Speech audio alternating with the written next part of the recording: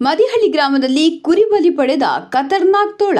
ಬೆಳಗಾವಿ ಜಿಲ್ಲೆಯ ಹುಕ್ಕೇರಿ ತಾಲೂಕಿನ ಮದಿಹಳ್ಳಿ ಗ್ರಾಮದಲ್ಲಿ ಬೆಳ್ಳಂ ಬೆಳಿಗ್ಗೆ ತೋಳದ ಬಾಯಿಗೆ ಸಿಲುಕಿ ಹದಿನೈದು ಕುರಿಗಳನ್ನು ಬಲಿ ಪಡೆದ ಘಟನೆ ಬೆಳಿಗ್ಗೆ ತಡವಾಗಿ ಬೆಳಕಿಗೆ ಬಂದಿದೆ. ಕರೆಪ್ಪ ಕುಬಾನಗೋಳ ಎಂಬುವರು ಸಾಕಿದ್ದ ಮದಿಹಳ್ಳಿ ಗ್ರಾಮದಲ್ಲಿ ನಿನ್ನೆ ಲಕ್ಷ್ಮೀದೇವಿ ಜಾತ್ರೆ ಅಂಗವಾಗಿ ಮನೆಯವರೆಲ್ಲ ಬಯಲು ನಾಟಕ ನೋಡಲು ಹೋಗಿದ್ದರೆನ್ನಲಾಗಿತ್ತು. ರಾತ್ರಿ ಸಮಯದಲ್ಲಿ ದಾಳಿ ಮಾಡಿದ ತೋಳ ಕುರಿಗಳ ಸುಮಾರು ಹದಿನೈದು ಕುರಿಗಳನ್ನು ಮುರಿದು ಬಿಟ್ಟಿದೆ. ಇನ್ನು ಹಲವು ವರ್ಷಗಳಿಂದ ಕುರಿ ಸಾಕಾಣಿಕೆ ಮಾಡ್ತಿದ್ರು. ಮೂಲತಃ ಒಟ್ಟು ಅರವತ್ತು ಕುರಿಗಳ ಪೈಕಿ ಹದಿನೈದು ಕುರಿಗಳ ಮೇಲೆ ದಾಳಿ ಮಾಡಿದ ತೋಳ ಕುರಿಗಳನ್ನ ಬಲಿ ಪಡೆದಿದೆ. ಇವುಗಳಲ್ಲಿ ಎರಡು ಕುರಿಗಳನ್ನು ಎಳೆದೊಯ್ದಿದೆ. ಹನ್ನೆರಡು ಕುರಿಗಳನ್ನು ಕೊಂದು ಅಲ್ಲೇ ಬಿಟ್ಟು ಹೋಗಿದೆ. ಎಂದು ಕುರಿಗಳ ಮಾಲೀಕ ಕರೆಪ್ಪ ಕುಬಾನಗೋಳ ಮಾಹಿತಿ ನೀಡಿದ್ದಾರೆ.